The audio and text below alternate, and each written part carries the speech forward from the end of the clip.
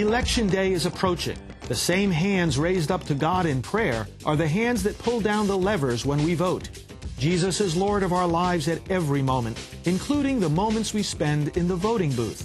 So make sure your votes reflect your beliefs. This is Father Frank Pavone, Director of Priests for Life.